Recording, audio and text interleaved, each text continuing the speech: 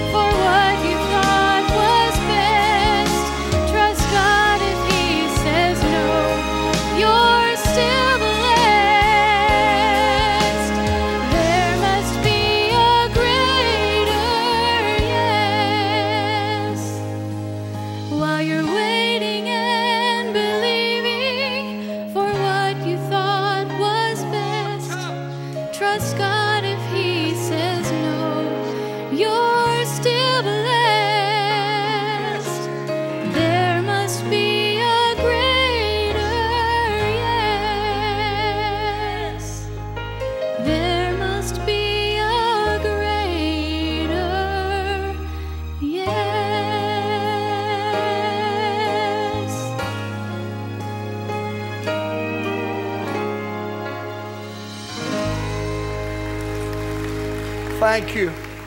Psalm 78. God's people turn to the Bible to Psalm 78. This is what is known as a historical psalm. Its purpose is to instruct God's people. By the way, we're living in a time when we need instruction.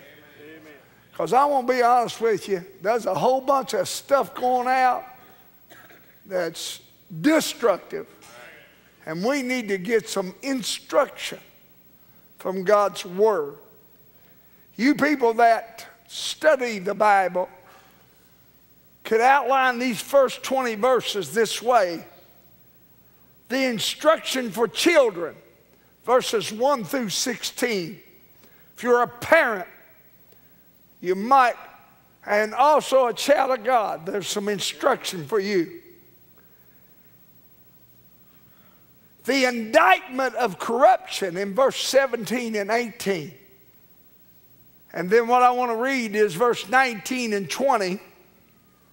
I was going to read 12 through 20, but I'll just read 19 and 20. When I was a young preacher, Aubrey Grant and a bunch of us loaded up in a van. We went up in the 70s, I believe, late 70s, maybe early 80s, to Hammond, Indiana. Heard an old preacher. He about my size, a little shorter. Spoke in a gravelly voice. He preached a famous sermon that's famous to him. I've got it on, on one of my devices. I like to listen to it every once in a while. His sermon was entitled, Can God? Uh, Dr. Harold Sightler, who's now with the Lord, pastored the great church at Tabernacle there in Greenville, North Carolina, I believe, or South Carolina. I'm not going to preach on can God this morning, though I'm going to read that text. Or would I even try to attempt to duplicate anything that dear man of God did? But I want to give you something that'll help you this morning. Look at Psalm 78 and verse 19. Are you there? Yea, yea, they spake against God. They said, Can God furnish a table in the wilderness? Behold, he smote the rock, that the waters gushed out, and the streams overflowed. Can he give bread also? Can he provide flesh for his people? I'm talking, the question here is asked Can God? I believe the question also is answered. God can. I will not try to duplicate what Brother Sightler done, because that would be a flop for me. But I am going to preach this morning on this thought for you people in this room who have a need. And if you're breathing air, you have a need. Can God? And I say, God can. I am not going to get in down to your level. And some of you that's got pressure on you right now, and you say, life's not fair, right. But you could either have a pity party and vent and make a fool out of yourself, or you could believe that God Almighty is omnipotent, omnipresent, and omniscient, and knows all about your problem. You can, you can walk around like a loser with your head down and whining all the time, or you can say, Hi, hi, hi, I'm serving a living God. Amen. Can God? I say God can. And I'll give you four things God could do. Ask five questions, and then we'll have the baptism. You said that's a long sermon. Nope. Not really. Number one, can God deliver his people? Psalm 78 and 12 said, Marvelous things did he in Egypt. Egypt's a picture of the world. Number one, he can deliver his people from the burden of sin. Hey, I want to tell you what. January 31st, 1973, there was something lifted off of me. That was the burden of sin. I was burdened down. I was a sinner. I was the pace car. I was a wicked old boy. You said, but God can't do that now. I want you to know I'm on record to say God can deliver his people and he can deliver them from the burden of sin. I want to tell you what we need in our churches. I ain't preach very much. We need some of God's people and some of us to preach repentance again. Why are we scared of preaching repentance? Sin, sin, still sin. You might change it around, but it's still sin. But I got a God that took them people out of Egypt and lifted them from the burden of the Egyptians and also from the bondage of sin. I, I have been, and y'all know, and I, I, I'm not a smart man, but I'm on my second doctorate. This one is on pastoral counseling. I guess it's timely because I don't know how many people in the last six months has walked in my office that's under some type of sin's bondage, whether it's alcohol. And by the way, it makes me sick that there's Christians that drink it.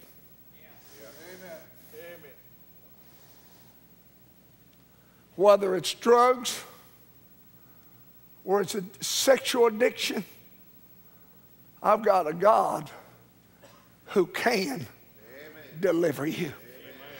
I would be a, not a very good preacher if I paint a picture that there's no hope for you. God can. Somebody help me. God can.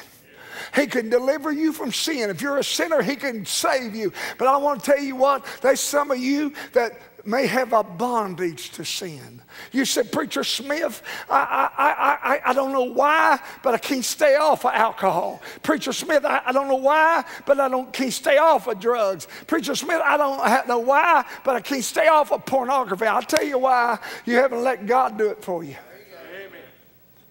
I'm going to tell you something. I'm going to be plain. I'm not the atypical preacher. Problem with us, most Baptists, is we're out here trying to clean up the outside. That's not my job. I'm not a legalist or a Pharisee. I'm not going to get up behind this pulpit and try to clean your outside up because that's impossible. But I'll tell you what, I got a God that starts from the inside out. I wish some of us would start trying to understand that God would start from the inside out, not the outside in. You say, boy, there's people coming to our church, they don't look too good, they don't dress too good, and, they and they, got, they got all kinds of blemishes of the world. Right? Yes, yes, yes, but God loves them, and God loves you, and my God can deliver you from bondage. Amen. Amen. And you said, How's he going to deliver me? Through the blood sacrifice. Woo! There's still power in the blood. And somebody the other day, now I know y'all's going to label me as soon as I do this, but I don't even, I don't even give a flip if you label me anymore. See, I do believe in demonic activity. I believe demons possess people and also oppress people. Work right here. Right here. Right in between your ears. You say, What do you do when the devil starts working on your mind? And he does. Now, I know some of y'all ain't going to like this, and they're going to think this is oversimplified. Good see, Pastor Bruce. They're going to think this is oversimplified. But I claim the blood of Jesus. I start feeling some oppression from the devil. I claim the blood. You said, Do you do it out loud? Yes. I was in my office the other day and I felt like every demon, y'all didn't have them, they was all in my office. They weren't church members either. I mean, I thought every demon in hell came in my office and said, We're going to just uh, have a party here. You said, What'd you do? I'm, I, some of y'all was going to think, I'm a, I know what you're going to do. You're going to label me. But you better read Revelation chapter number 12 first. They overcame him by the blood of the Lamb and by the word of their testimony. I'll tell you what I done there. It's just a couple weeks ago. I got down on my knees and I said, Lord, I'm getting tormented. I, and I, and I, I, I claim the blood. I said, Lord, I claim the blood over this office. And you said, uh, What happened? There's a peace came in there. Hey, by the way, them demons can't take the blood. That crowd that tries to mentally aggravate you cannot take the blood. They cannot stand the blood. Can God? Yes, He can. He can deliver His people. Number two, look at verse 13. This is good here. God can divide your problem. Look at verse 13. Are you there? Say amen if you are. He divided the sea and caused them to pass through. And he made the waters to stand up as a heap. Hold on, hold on, hold on, man. Some of y'all, some of y'all, you ain't got it yet. At minimum, three million people. At minimum, three million people stood at the Dead Sea, or the Red Sea, excuse me. Stood at the Red Sea. Stood right there at the Red Sea. Three million people stood at the Red Sea. Pharaoh coming this way, mountains on both sides. Can God divide your problem? I'll tell you what God done. He stood the sea up like a heap. If you had just shoulder to shoulder 5,000 people side by side, you'd have a line that's miles long. And guess what? They walked across on dry ground. You said that's just a story. Is it really? That's what's wrong with some of you Baptists here. You still you don't believe God can do it. You, you you're still hanging on to all this junk. God can divide your problem. You said what problems? I'll name three. Your mental problems. preachers, preachers, you're not you're not a psychiatrist. No. I'm not, but I know most of our problems are right here in our mind. Any y'all ever worry? One, two, three, four. The rest of you a bunch of liars.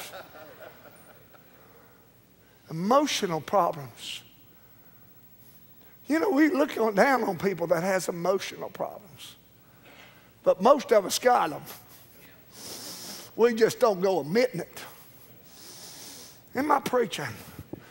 God can, God can take care of you mentally. How many believes the verse? And the peace of God that passes all understanding shall keep your hearts and what? Listen to me. Minds means your, your mind, woman. Mind, man, your mind. That crazy thing you think all the time with. I say this often. I think the whole world's crazy except me and Dave Riddick. And I'm not sure about Dave Riddick. And you ain't either.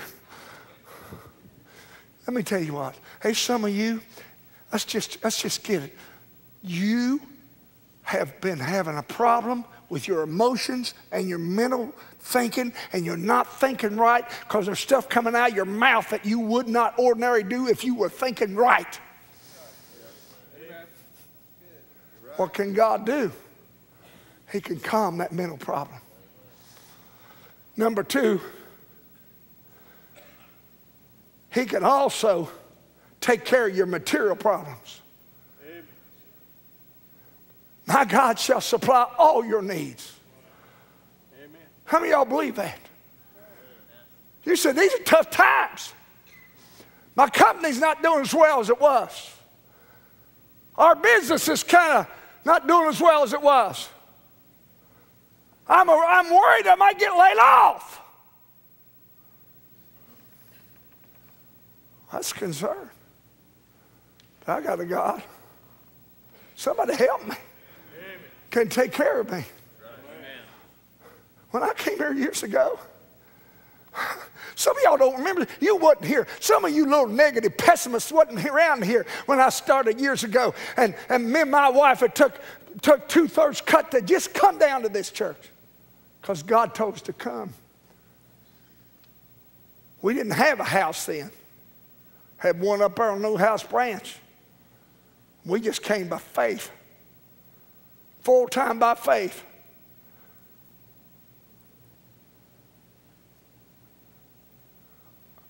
You said, What happened? God took care of us. Every time I went out to the car, when it was about this time of year, there's cucumbers and green beans and some taters. And every once in a while, I'd walk out and somebody slip a 10 in my pocket. You said, Did you look? Sure, I looked, you idiot. We were hungry. We came by faith. We were, we were really hungry. Some of y'all surprised. Let me tell you what, my wife had never bought a dress the first five years we was here. Now you, she, she ain't gonna buy one now unless it's cheap. Amen. I find suits right now with blemishes on them so I can tell that guy to cut down half price. And when you're big as I am, there ain't no way people can see my blemishes in my suit. what are you saying? I got a God can take care of me. He'll take care of you too.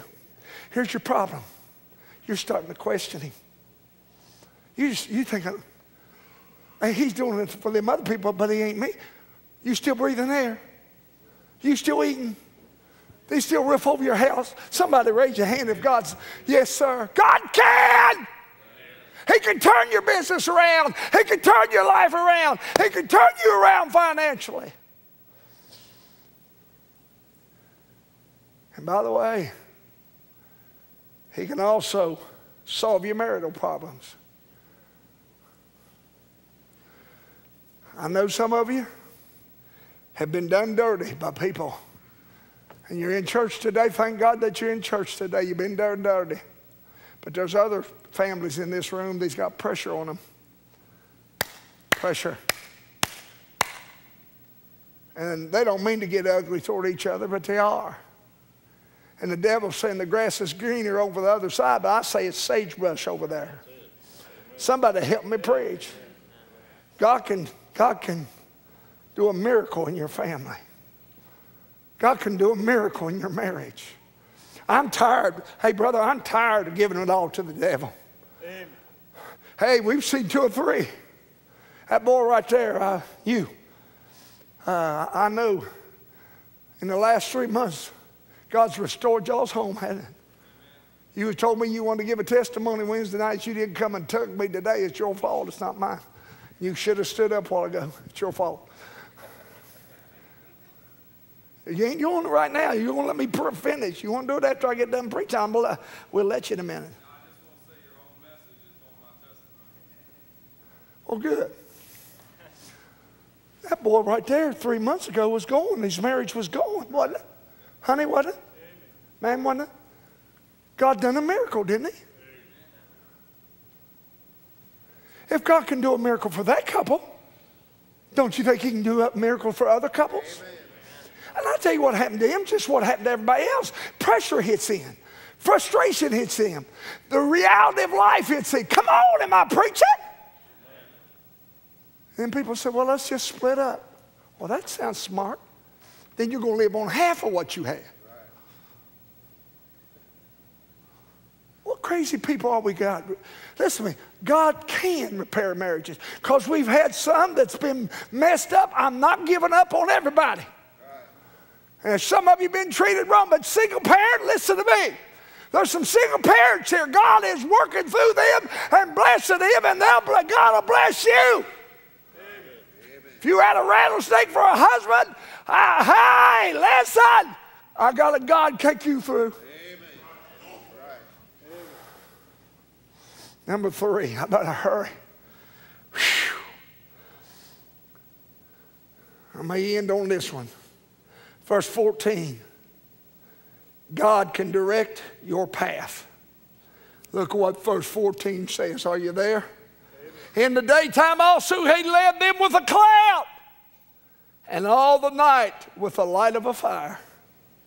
You know what that's all a picture of? Two things. How many believe God can direct these people? First of all, by the moving of the Spirit. The Bible said they are led by the Spirit of God are the sons of God. I want to tell you, I got a guy. Hey, I want y'all all to know, listen, man, I might as well preach something right now. I may just get everybody all about half mad. If you're saved, you've got all the Holy Spirit you ever are ever going to get. Your problem is the Holy Spirit doesn't have you. He wants to direct you. I believe in being directed by the Holy Spirit of God. Hey, I'm doing that. Hey, listen to me. Look at me. Hey, Brother Curry, I done made up my mind. God's Holy Ghost is in me. That's God. And He can lead my life. He's the one that led me and Marguerite to Teays Valley when they wasn't nothing but an Exxon out there that Brother Cooper owned. It wasn't a McDonald's. I wish they'd get some more restaurants, by the way. I vote for that. And uh, I love bankers, but I think we got more banks, we got restaurants, and I like restaurants better than I do banks. But anyway, that's other preaching. God brought me down here when there was nobody. Had 89 the first Sunday morning, 44 that night. I was sitting up there. I remember sitting. No, I wasn't up on stage. I was over on the right. Church wasn't built like this one is. I was wondering. I was looking back there. I'd said that morning one day God will give 500 people here. Had a guy pull me by the collar and said, "You'll never see 200." First morning preaching. Ain't that sweet? How many believe that's encouraging?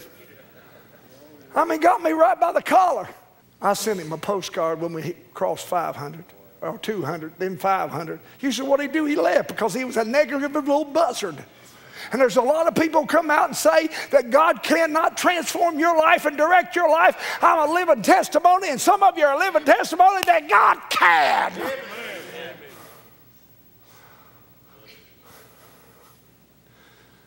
Then I'll give you this and ask five questions, and I'm done. I'll leave out point four. But also, he directs us by the map of his scriptures. I was, now I'll tell you what I do. You think I, I'm interested, everything goes on in this church, but I can't be everywhere, every place, time. So, what I done this morning, I went into, up into the stairwell, went into Mrs. Blake's class. She had a good group of youngins in there, stirred up for God. Then I went into Sharon's class. Is that first graders or something? Second, third grade boys. And guess what my one of my points is? Thy word is a lamp unto my feet and a light unto my path. Guess what they had on the floor? And guess what? Before I got to class, I made them all say it out loud, didn't I, Sharon? And I walked them little steps. Thy word is a lamp unto my feet and a light unto my path. Thy word is a lamp. Well, glory. Guess what? Some of you little negative little buzzards back there, some of you people, they ain't got enough faith to fill a thimble. Your whole problem is you don't trust this book. This old book that brought revival in this country, this old book that still stands. I want you to know we'll direct your life if you let it map it out for you. Tell you what's wrong with you. You don't read it. You don't study it. You don't follow it. Then you want to blame everybody for your problems.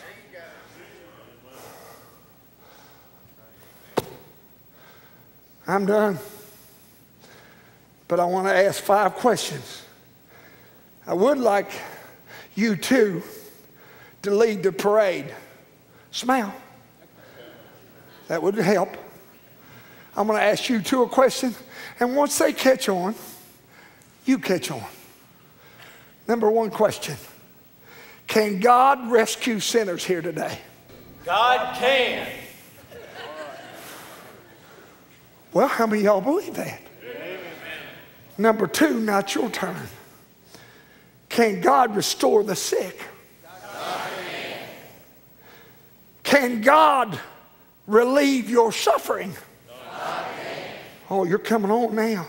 Can God remedy your situation? Lastly, and this is what we need can God revive the saints? If you believe that, I think you'd be at an altar. If you believe that, I think you'd be around this pulpit.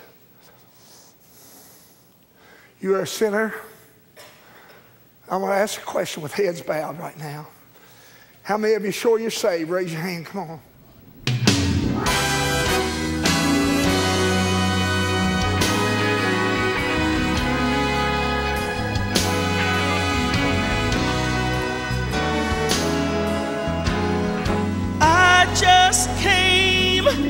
From the throne room today. Been talking with him.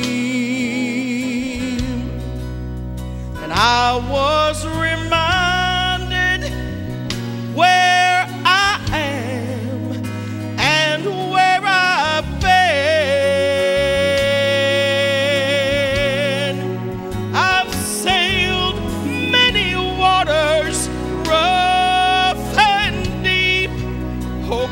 someone has sailed every one of them with me safely and sure. I've weathered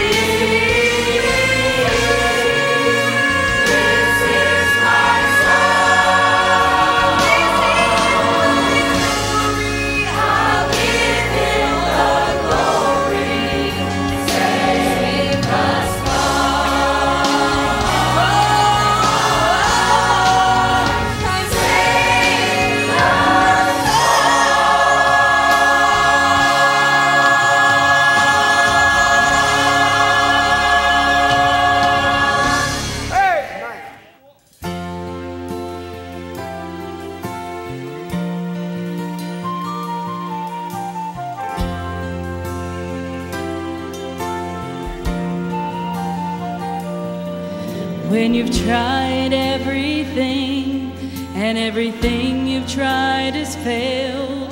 When you're standing at the harbor and the ship of hope has sailed. Your friends have no answers and peace just can't be found. Oh, but there's a hand of mercy that can turn it all around. When nothing but a miracle will do.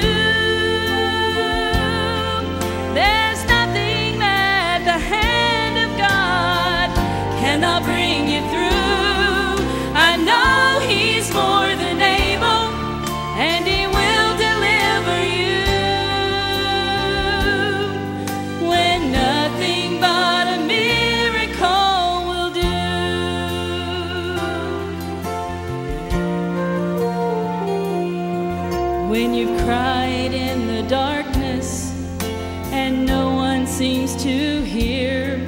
just because you can't see Him doesn't mean He isn't near.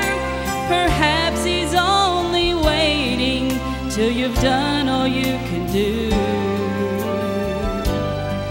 Till He's the only one that's left to hold on to.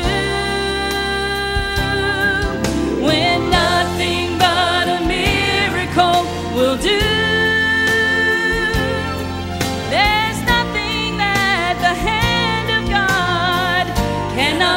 You through.